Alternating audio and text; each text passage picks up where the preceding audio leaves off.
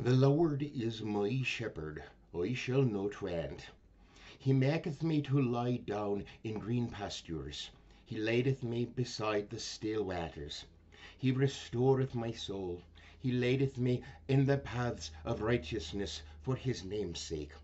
Yea, though I walk through the valley of the shadow of death, I will fear no evil, for thou art with me.